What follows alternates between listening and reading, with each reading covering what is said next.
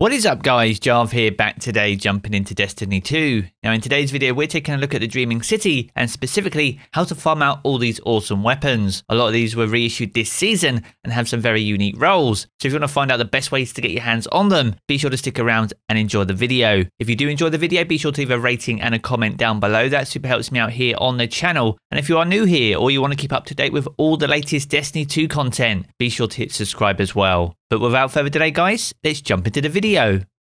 Now with the launch of Season of the Chosen, the Dreaming City's loot pool was reissued. This included weapons and armor. Now as for the weapons themselves, these included the Sleepless Rocket Launcher, the Vouchsafe Scout Rifle, the Waking Vigil Hand Cannon, and the much sought after Retold Tale Shotgun. Now with the recent news that sunsetting is being sunset itself, it means we have many more weapon options available when it comes to our loadout. One thing is for certain though that adjustments will be made to our beloved Felwinters, and what we don't know yet is what these changes will be. Will there be changes to weapon stats? Are they likely to change some of the perks on this weapon? And with the changes to Astral Horizon this season and the removal of Quick Draw, could this be something we see on Felwinters too? If that is the case, then the Retold Tale could be one of the only shotguns that can roll with Quick Draw and Snapshot. So if you want to absolutely safeguard your PvP shotgun, then chasing down a Retold Tale may be the best option. Now whilst reissuing isn't exciting for most, a lot of these weapons have new perks, some of them exclusive to the dungeon itself. So with that all out of the way, let's take a look at all the current available sources to get our hands on some Dreaming City loot. And the first person you want to make a visit to every week is Petra Venj over in the Dreaming City. Her location does change week on week, but her quests and bounties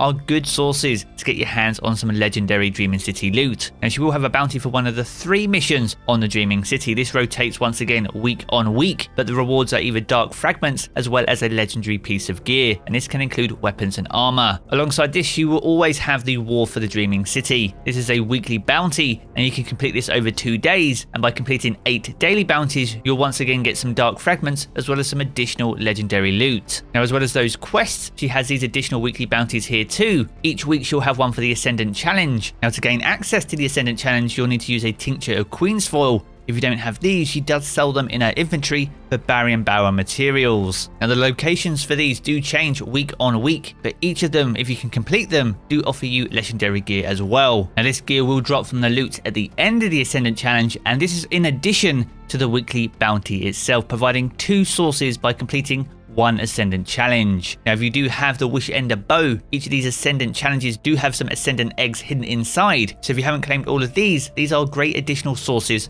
for some legendary gear. Now each and every week you'll also have the gateway between worlds. This is for the blind well. Now for every tier 3 activity completion this will grant 50% towards this weekly bounty. Now whilst the bounty itself doesn't grant legendary gear, your first blind well completion of the week will grant you a piece of legendary Dreaming City loot. And upon completing your second tier 3 you'll gain access to the offering to the Oracle. Now you need to go over to the Oracle engine to hand this in. Now, if you're not too sure exactly where that is, I'll leave the route playing out right now which will take you straight there. Now when handing in your offering to the Oracle, you can also receive Purification Ritual Bounties. These are additional quests that you can complete during an Ascendant Challenge, and completing these bounties will offer you an additional piece of loot. And finally, in regards to Petra Venj, she also has a daily bounty. Now the requirements for this bounty does rotate day on day, but by simply completing this, you can get easy access to some Dreaming City gear. Now by completing these bounties, running the blind well, and also receiving and completing the purification ritual bounty, this can grant you up to 10 opportunities to get your hands on some loot. You can run this on all three characters too,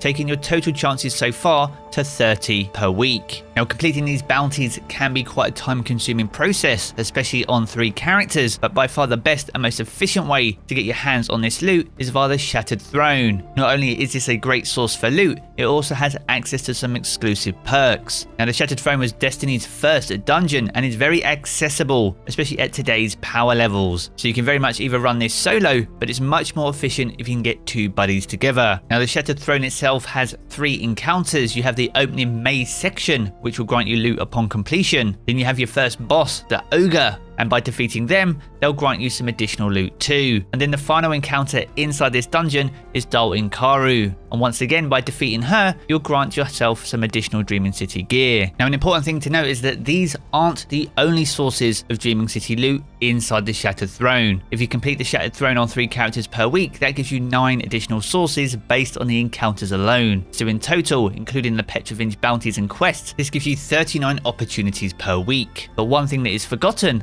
and often overlooked inside the Shattered Throne are the five hidden chests. Not all five of these will grant you legendary loot, however at least two of these per week will grant you additional sources of gear. So once again by completing the Shattered Throne and opening these chests on all three characters, you in fact have a total of 45 opportunities per week to get your hands on these weapons and armor. And as we said earlier in the video, if you haven't defeated all the Wishender eggs, then these again provide only further chances for you to get these legendary drops. And to help you guys out, I'm going to leave the footage to all five chests and their locations from here on out. So if you're not too sure exactly where they are, be sure to use the timestamps in the video description below to jump around and really help you out. Now if you have enjoyed the video, be sure to leave a rating down below. That super helps me out here on the channel. And if you're new here or you want to keep up to date with all the latest Destiny 2 content, be sure to hit subscribe as well. I'm going to jump back into the game as always guys, but I will catch you all again very soon.